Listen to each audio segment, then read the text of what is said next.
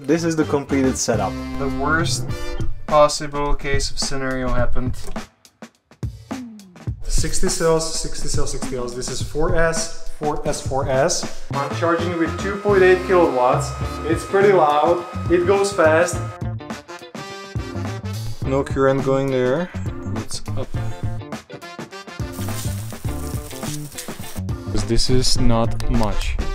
I'm getting not even 40 watts. The whole power bank is attached and clamped from the bottom of the car with this aluminum bar. I did not expect things would go the way they went yesterday. And I completely gave up on this van build up until today.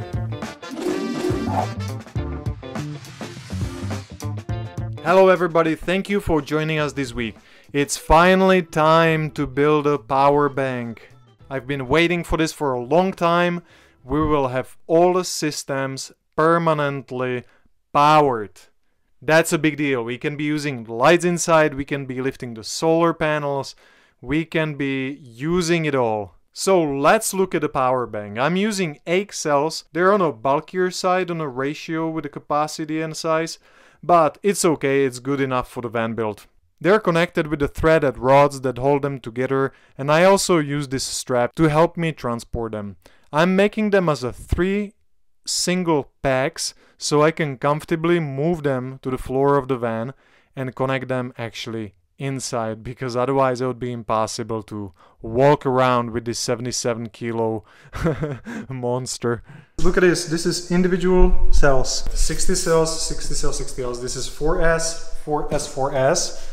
And look, these 15, that's individual cells connected in parallel. That means overall voltage of these is 3.6. This is connecting series together. I'm having 1S2S, that means voltage here is already doubled, 7.2 volts. And we go all the way up to 12S configuration. So in between those packs, I need to be connecting the series. Whew and I'm gonna make sure they are well protected in protective sleeves before I even can bring this series inside of the car because as one pack there is not a single chance to get them in.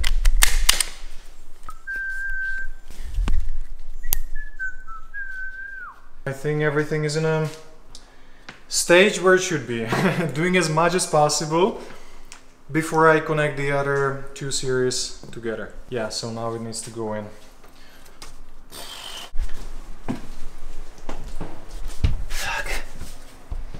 Okay, now I need to connect connect together somehow rotate connect them so I can just slide them in. That's the deal now. And a deal is a deal. It's a bit of a hustle to connect all of these packs together.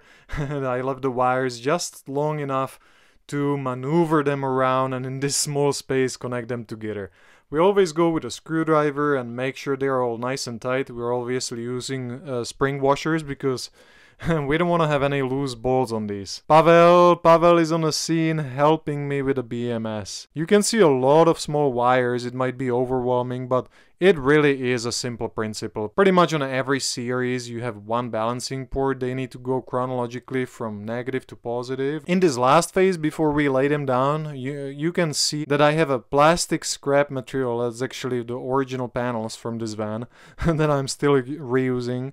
I'm marking them, labeling them and cutting the holes for the connecting wires. After the temperature sensor is installed inside, we just mammoth glue them and use a Kapton tape to secure everything in place and preventing anything short-circuiting these series. The last phase is to just slide it in. It's a bit of a human power and the next phase moves to securing the power bank in there. So I'm using this insulation cut on a right thickness.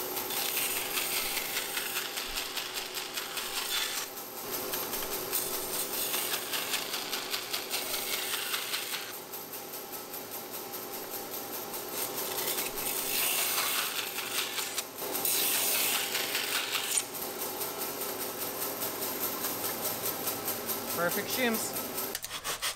Wow, that is a tight fit. It's not going anywhere, and this this will also work as a buffer. We'll squash this a little bit, but it doesn't go hard, and it's not gonna destroy anything. Battery successfully installed, properly attached to the chassis of the car. BMS installed and set. These wires, that's a mess that needs to be organized later on. BMS seems to be all set, all the values, and I think we are moving towards pressing the on button. Bad one. Pretty awesome to see the lithium in a nominal voltage and seeing actually the cells are pretty well balanced. And that's always a good sign. Hmm? I think we are ready to turn it on and, and we'll see. We're logged into BMS. We'll see if we have any draw. Ready? Three, two, one. Tam byly zaply světla vzadu. A žere 35 W. A tam 35. jsou zaply ty světla. Takové 35 W, jasně. Jo, jo, pěkně, no. OK, to vypadá dobře. To vypadá dobře. Tak já hned nastavím eh, kontroler. Podíváme se, co dávají soláry třeba takhle pasivně. Time to test the charger. 67 ampere. To je dost. 3 kW, 2,8 kW, to jde naplno. I have very improvised conditions with just the extension cable to power the charger and it's awesome. I'm charging with 2.8 kilowatts.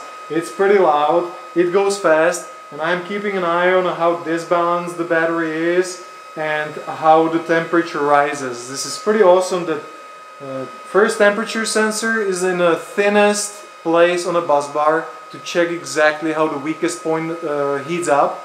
And then we have the second one on the average bus bar spot. Then we have inside of the power bank and outside of the power bank. So that is the most objective uh, measurement we can read on this. 61 amps, 3 kilowatts charger, pretty good.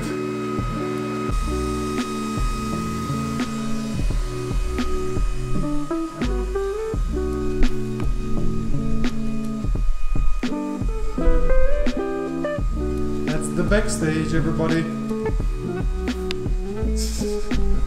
That's pretty awesome.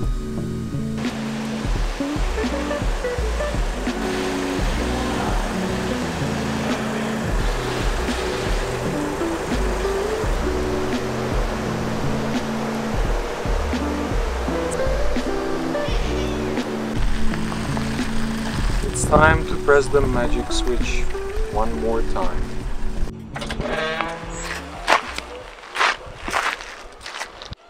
Initiate the lift.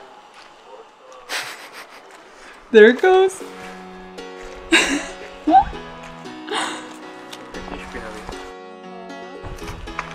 I learned much later that actually voltage of the solar panels must be 5 volts higher. So I was just checking the voltage. Oof. If it was not, I would have to change the connection and change them from all parallel to one series. So I think I can turn this on. No current going there. What's up? They're very dirty. And I see increase in a in power. That's good too. So I think it's time to wash them and see actually what they are gonna do. Last time, how we had to clean our solar panels, climbing up, it was impossible. was always finding something high enough because we didn't have a ladder. We gained 100 watts by washing one of the solar panels. So that's good. There's, there is ambition that it might work out.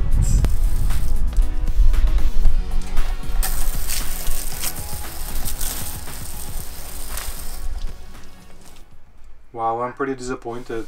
It's a it's a summertime. It's a bright daylight, not shaded. We just cleaned the solars, and I'm getting not even 40 watts out of theoretical 1000. And also these solars are tilted now.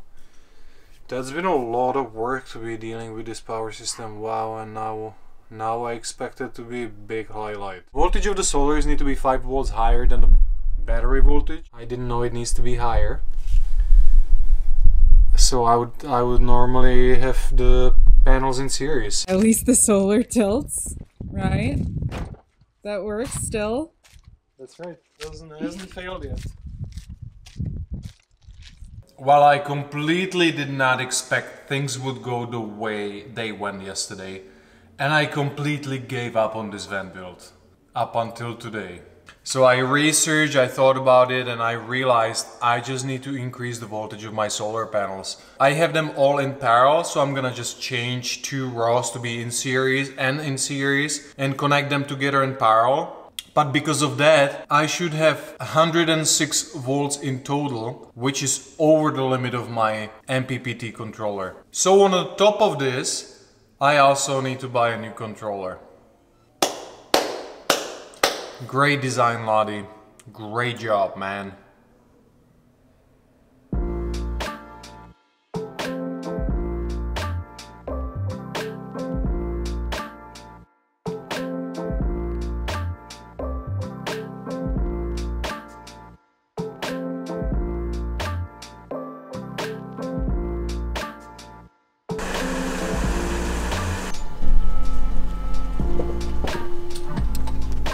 Worst possible case of scenario happened that now we're over 100 volts.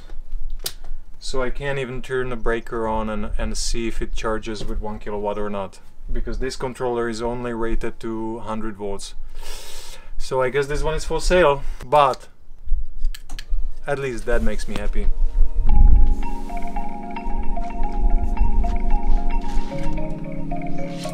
This is the whole finished setup. A little bit organized cables, everything zip tied and screwed what was necessary to the bag. So nothing rattles, nothing can scratch through. It's safe. The whole power bank fit just enough in this box under the fridge. We'll definitely have to seal the fridge nicely so we don't have any condensation going down, but that's for another chapter. Most importantly, this is upgradable. The easiest way is just to add one or two more series to increase the capacity to 15 kilowatt, just in case we don't have enough. I have the BMS right here. That's a Bluetooth BMS, so connecting through my phone and seeing stats, everything right there. It also has a switch. I'm thinking I might even keep it down here. So maybe for off-season use, I can just disconnect the BMS and make sure nothing's gonna drain my battery. Everything is organized beautifully with the zip ties and protective sleeves when it's needed. You can see all the individual balancers are again zip tied and wrapped in a protective sleeves. Always checking for sharp corners. That just makes life much easier later on. The whole power bank is attached and clamped from the bottom of the car with this aluminum bar. I used it as a ground at the same time so I can just ground the whole battery right here and it also holds the unit clamped down to the floor. So just in case we have an accident, this should hold everything just fine. From the sides we have the insulation working as a buffer so it doesn't have a hard impact just in case of accident and battery packs are also protected with a thin plywood from both sides. I just routed edges to make them nice and smooth so nothing cuts through the battery bank. Pavel also installed four temperature sensors so we have them in the most critical points. So when I was concerned about the thickness of my bus bar that's where I applied one uh, sensor. Then we have one just in general on a, on a flat surface of a bus bar to compare the difference. We also have one in between the packs and the last fourth one is just up here from the top between the power bank and the shelf so we have the most objective reading I think we can get. Apart from the solar panel fail, this seems to be usable setup. We'll see. Thank you guys so much for watching. I really appreciate if you spend time with us and if you show interest in what we make. Next, my custom hot water tanks being made. So hopefully we're gonna be installing it next week together with a motor exchanger super simplified system just because feedback from you guys. So thank you very much and see you next week. Ciao!